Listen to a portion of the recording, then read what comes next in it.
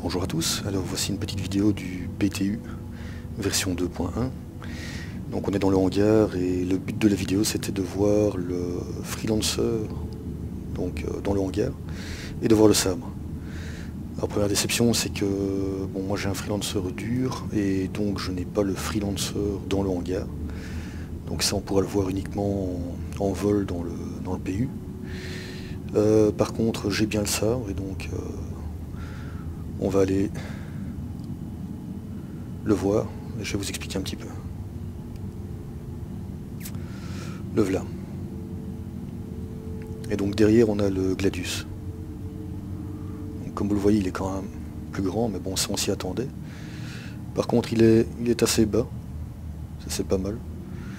Au niveau esthétique on a un arrière qui euh, me fait penser un petit peu au, au.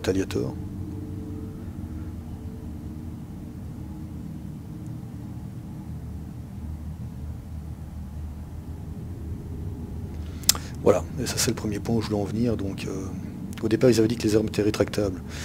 Donc ça, il faudra voir si c'est toujours le cas. Euh, donc au niveau des ailes, on a des gimbals de taille 4, euh, ce qui est vraiment pas mal. Et donc ici, j'ai pu mettre un GT Mantis. Donc c'est pour vous montrer un petit peu. À la place du Mantis, donc à l'origine, il y a du 227 Panther, donc c'est déjà du gros répéteur. Et ici, ce sont les bons vieux badgers qui sont euh, disposés là à côté du, nez de l'appareil. Euh, c'est également, euh, enfin c'est pas une monture fixe, c'est pas une monture gimbal, c'est une monture tourelle.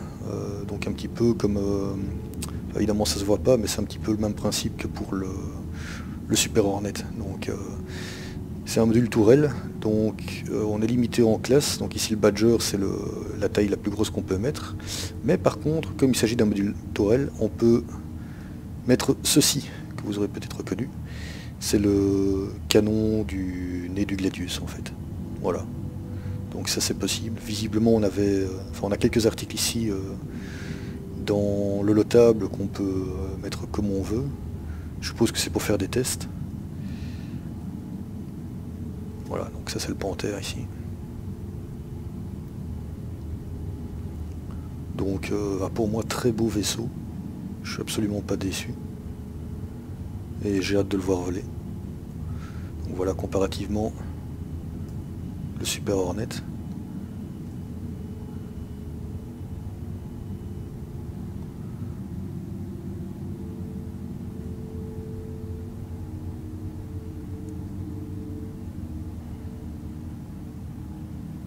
Faudra voir une fois les ailes déployées, mais euh, je sais pas, il m'a l'air d'avoir un profil un peu plus bas que le Super Hornet.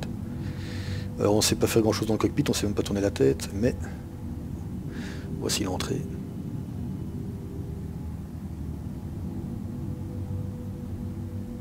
Cockpit qui ressemble un petit peu à celui du Gladius. Voilà. Donc ici je sais absolument pas bouger, mais euh, ça donne une bonne idée. Et donc on voit, euh, on voit les petits écrans là qu'on va certainement pouvoir disposer euh, ou changer selon nos envies. Et on a, on a quand même une belle visibilité, hein, c'est comparable au, Hornet.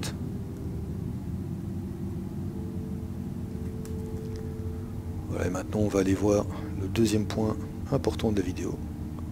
Le lotable, qui a subi euh, quelques modifications, vous allez voir. Ce sera peut-être pas pour tout de suite, mais en tout cas maintenant on a déjà euh, un visuel sur d'autres composants que ce qu'on avait avant. Donc avant, euh, on avait les, les propulseurs, je crois que l'onglet était visible, mais on ne pouvait pas vraiment jouer avec. Maintenant, c'est un petit peu différent. Ils ont rajouté euh, ça, la, centrale énergétique. Voilà. Alors tout d'abord, comme vous voyez, c'est un petit peu changé.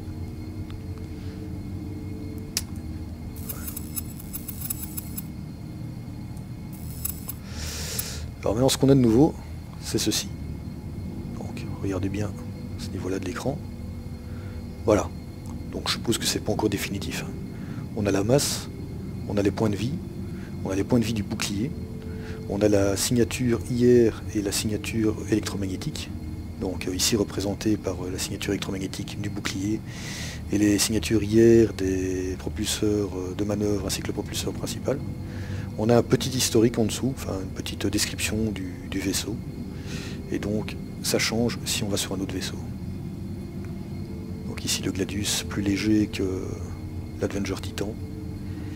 Et alors on voit une différence aussi au niveau des, points de vie, des points de vie du bouclier. Donc regardez bien ici, au niveau point de vie, on a 3614. Et pour les points de vie du bouclier, on a 3600. Ouais. Voilà. Si on remonte sur l'Adventure, ah, on voit qu'on est à 3475 pour les points de vie et 2700 pour le bouclier. C'est pour ça que je dis que c'est pas c'est certainement pas encore au point, c'est euh, sûrement un titre euh, d'indication pour l'instant et c'est encore appelé à changer, ça on le sait. Euh, ce qui me fait dire ça, c'est simplement le fait que tout le monde sait bien que maintenant l'Adventure a un gros avantage au niveau du dogfight.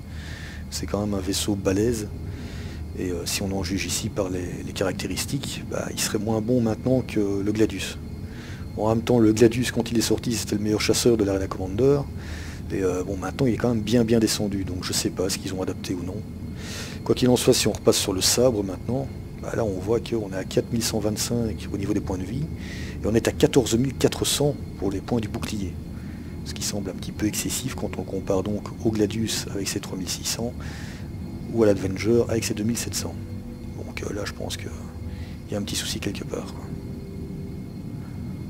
Voilà. Donc, comme je disais, des nouveautés. On va peut-être sélectionner un vaisseau d'abord pour voir.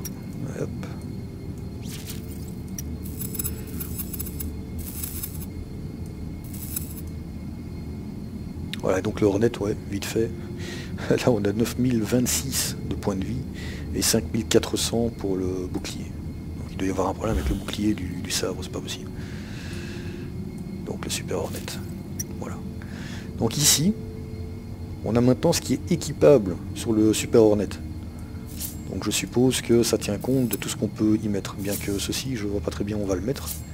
Les plateformes euh, lance-missiles Aegis, ça me semble un petit peu bizarre.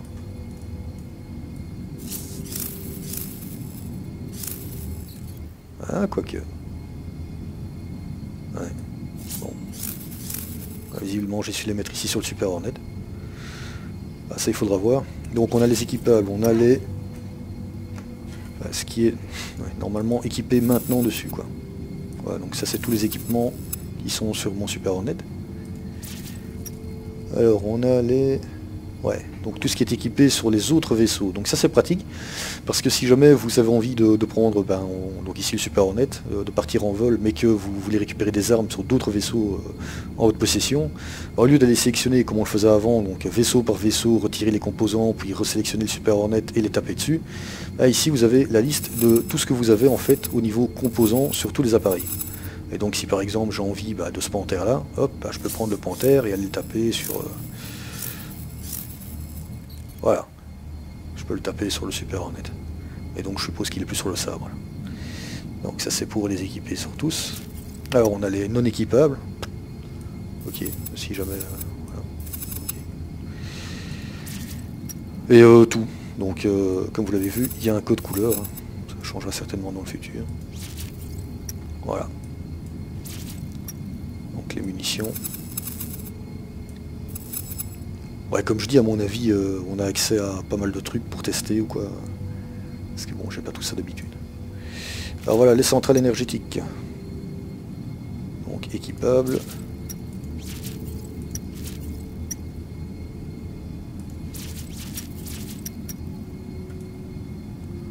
Voilà, donc là vite fait. Ça c'est une centrale à Aegis. Je sais pas, on peut la mettre là visiblement. Voilà. qu'il y en a il y en a plusieurs.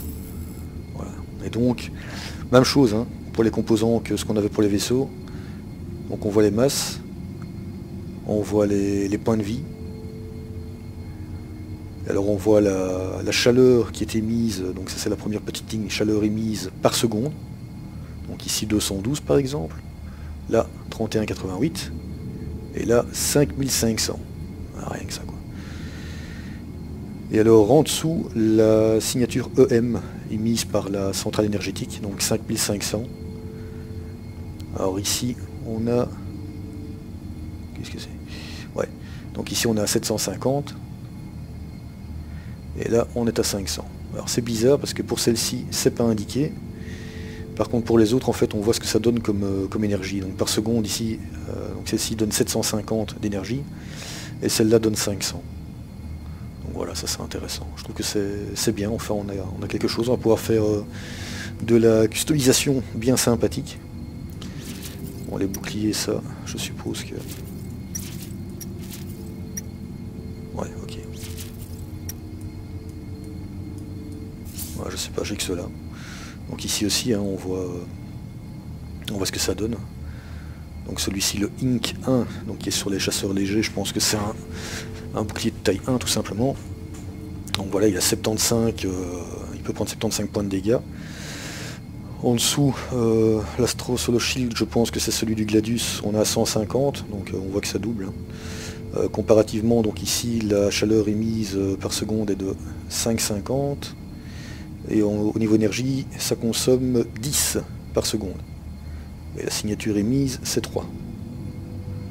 Ici, au lieu de... Non, ici, ça reste exactement la même chose. Et alors, pour celui-ci, toujours à 5,50 euh, de chaleur émise, donc ça, ça n'a pas bougé. Par contre, au niveau de la consommation d'énergie, on passe de 10 ici pour le Solo Shield à 75.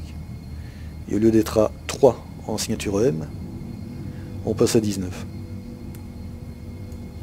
Et enfin les propulseurs, voilà, donc là il faudra, vraiment voir euh, ce qui est possible. Donc ça c'est. Ouais ok. Donc c'est le propulseur principal quoi.